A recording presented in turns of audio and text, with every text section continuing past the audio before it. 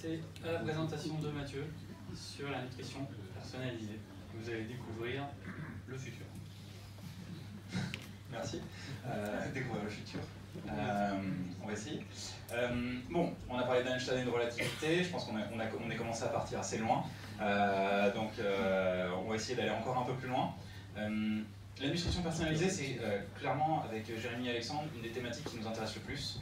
Euh, on a passé 7 ans, en tant que fondateur de WeCook, euh, à travailler sur cette thématique à une moindre mesure. Euh, WeCook, c'est un service qui aide les gens à organiser leurs repas, recettes et listes de courses avec des recommandations, des conseils de euh, diététicienne que vous recevez euh, euh, tous les euh, jeudis, qu'on essaie de faire le plus personnalisé possible. Notre motivation au départ, ça a toujours été de réfléchir à comment est-ce qu'on pouvait utiliser toutes les données qui étaient disponibles pour fournir euh, des recommandations de repas, euh, des recommandations nutritionnelles au quotidien aux familles. Euh, soir, on va aller un peu plus loin et regarder ce qui sera peut-être possible dans quelques années.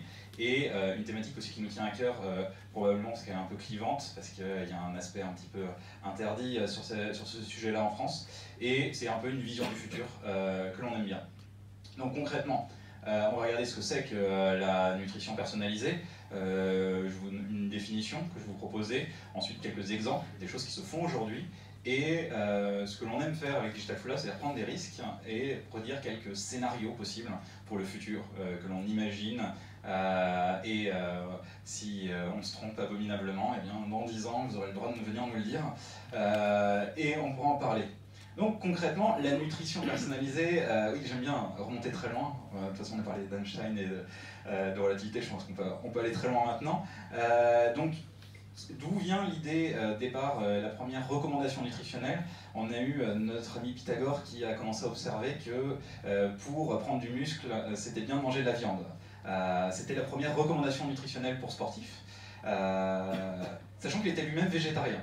Donc euh, on commençait déjà à avoir des contradictions euh, en soi, euh, ce qui est assez intéressant à, à voir. Euh, évidemment, les choses se sont améliorées au fil du temps. Aujourd'hui, comment est-ce qu'on fait pour euh, un petit peu suivre son alimentation? Eh bien, on va utiliser des euh, outils comme MyFitnessPal où vous pouvez entrer l'ensemble des ingrédients que vous consommez à la fin de la journée, ça va vous dire Mathieu, tu as mangé euh, 2600 calories, pour ton régime, c'est mal parti. Ou alors, tu en as mangé 2200, euh, dans 5 semaines, tu pèseras 60 kilos et tu ne seras plus parmi nous. Euh, mais voilà, donc c'est une, euh, toutes les, euh, c'est ce qui existe aujourd'hui, c'est-à-dire qu'on doit donner de la donnée et à la fin, on vous fait une recommandation. On a des outils un peu plus avancés qui essayent de faire la même chose en prenant des photos, mais c'est toujours a posteriori. Et ce qui est intéressant, c'est de se demander est-ce qu'on ne pourrait pas faire des choses a priori, c'est-à-dire à partir de ce que vous êtes, de vos données et, notamment de, de là où vous en êtes, vous faire des recommandations.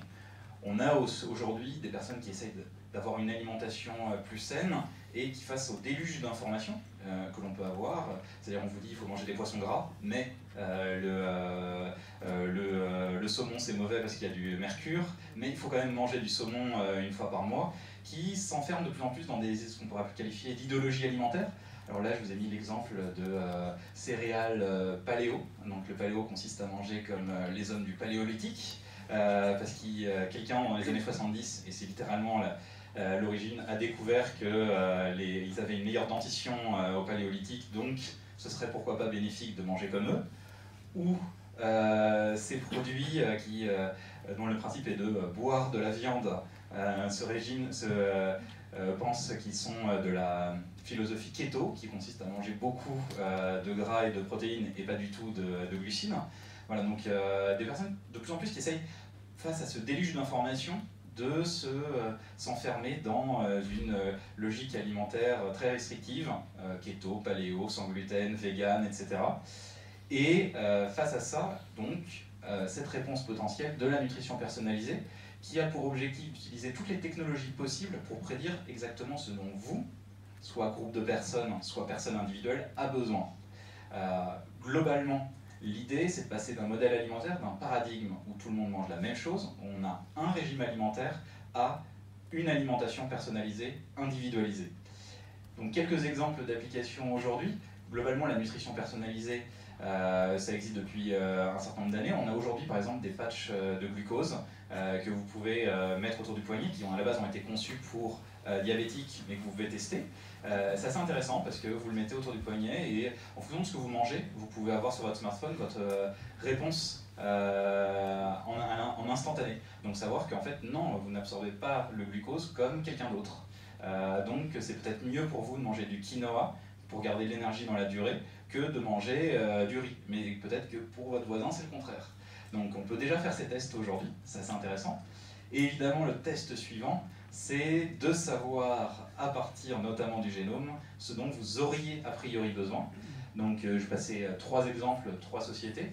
Euh, celle qui est la plus connue, qui s'appelle 23andMe, qui est notamment connue parce qu'elle a été créée par sa fondatrice, qui est une, enfin, l'ex-femme d'un des fondateurs de Google.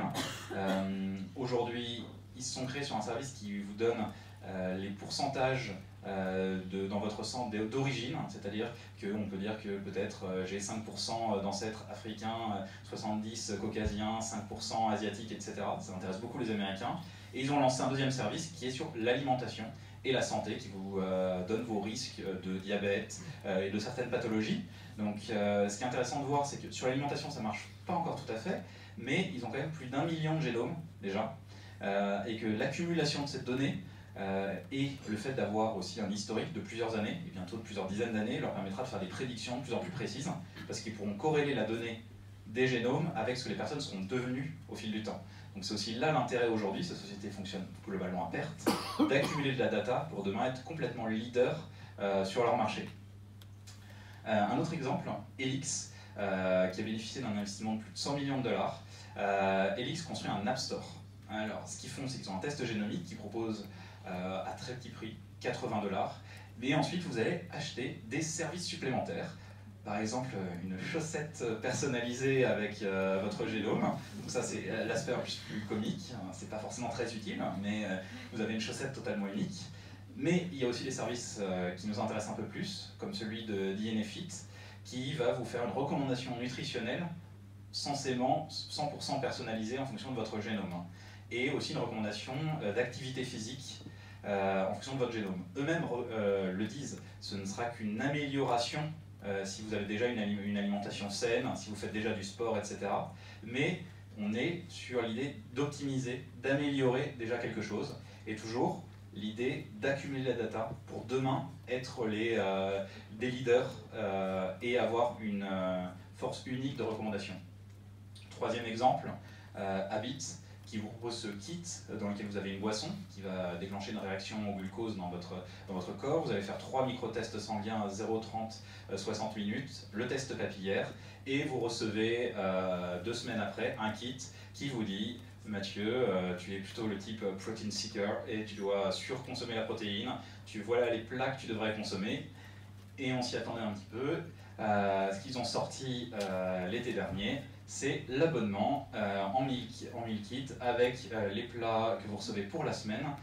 Et c'est vrai que l'offre est euh, assez difficile à résister. C'est difficile de résister à Mathieu, tu as le choix de continuer à te faire à manger toi-même, de commander des plats ailleurs, ou alors on a des plats qui, qui feront que tu seras en meilleure santé, que tu vas vivre plus longtemps, que tu vas éviter certaines pathologies. La promesse est quand même extrêmement forte aujourd'hui. Donc c'est un test. Euh, ce qui est intéressant aussi de voir, c'est qui a financé cette société. Dès le début, 20 millions de dollars de Campbell Foods, donc euh, industriel euh, leader sur son marché, et aussi très important à l'échelle américaine, qui investit dans des sociétés, on va dire, disruptives avec une énorme part de risque, mais aussi en, en y mettant des financements conséquents. Troisième partie, du coup, voilà ce qui existe aujourd'hui. Qu'est-ce qui pourrait se passer demain à partir de ça? La première possibilité, c'est qu'il ne se passe rien. Euh, c'est non négligeable. Euh, l'aspect scientifique n'est pas totalement validé. Euh, on ne sait pas aujourd'hui à quel point ça peut fonctionner au-delà des quelques points. C'est-à-dire qu'on sait que ça fonctionne pour le glucose, on sait que c'est très bon à prédire le diabète, c'est extrêmement bon à prédire votre réactivité à la vitamine D, vos besoins de vitamine D, c'est assez bon sur les protéines. Sur le reste, pour l'instant, ce n'est pas encore conclusif. On ne peut pas faire à partir de son génome un modèle alimentaire 100% personnalisé mais il est quand même très possible et très probable qu'on y arrive demain. Euh, et évidemment, deux autres raisons euh, qui pourraient conduire à ce qu'il ne se passe rien, c'est le refus des consommateurs. Ça suscite quand même euh, des réactions en général assez négatives, ou alors un refus du législateur, notamment, c'est le cas en France, le test commercial génomique est interdit, ce qui, de notre point de vue, est un problème, parce qu'aujourd'hui, ces sociétés accumulent de la data à l'étranger, à son par un certain nombre de points très proches de sociétés qui développent des outils d'intelligence artificielle. Et il est assez simple de connecter, d'imaginer la connexion des deux demain pour développer des géants de l'alimentaire sur ces thématiques. Des scénarios possibles. le premier, ce que l'on voit, c'est que si ces tests sont disponibles, il y aura de plus en plus besoin de personnes capables de les décrypter, donc euh, un besoin de plus en plus de diététique, de diététiciens et diététiciennes pour les expliquer, mais euh, sur un nouveau profil, parce qu'il s'agira quand même d'expliquer des tests génomiques, qu'est-ce que ça veut dire, de faire des profils 100% personnalisés euh, aux personnes, donc aussi un usage d'intelligence artificielle. Ça suscite aussi une personnalisation, du moins ça implique une personnalisation de la production. Je ne vais vouloir des produits qui soient 100% les miens, parce que mon voisin il sera forcément différent, il n'y aura personne qui aura les mêmes besoins que moi, donc je vais vouloir euh, une production totalement différente, ou du moins me retrouver dans des groupes, euh, peut-être des rayons selon mon profil alimentaire. On peut imaginer un supermarché coupé en fonction euh, de ses profils alimentaires la, selon ses tests génomiques. L'envie d'avoir de plus en plus de labels, de plus en plus de, d'étiquettes de plus en plus fines pour savoir que non, moi je suis allergique ou je suis pas très tolérant à tel micronutriment et que du coup je veux euh, les exclure euh, de mon alimentation. Peut-être des nouveaux produits agricoles. Euh, de manière générale, les OGM sont plutôt mal acceptés, mais les nouvelles technologies, notamment les évolutions, tout ce qui est CRISPR, etc., permettent des productions agricoles de plus en plus précises, de produire bientôt peut-être du blé sans gluten, etc. Donc, est-ce que ce sera un futur possible où on aura des tomates qui seront différentes selon nos profils nutritionnels? Et euh, peut-être le scénario le, plus probable, c'est une combinaison d'un certain nombre des éléments dont j'ai parlé, c'est-à-dire un tracking alimentaire de plus en plus intelligent, une capacité en un clic, en une photo, euh, de savoir ce que vous avez mangé. Peut-être que votre montre euh, pourra détecter ce que vous êtes en train de manger et en fonction de ça, de vous recommander des compléments alimentaires qui, eux, seront personnalisés et qui vous assureront la meilleure alimentation, ou du moins la meilleure santé à partir de votre alimentation. Voici euh, voilà, en quelques mots un parcours de ce qu'est euh, la nutrition personnalisée, de quelques éléments de vision sur le futur.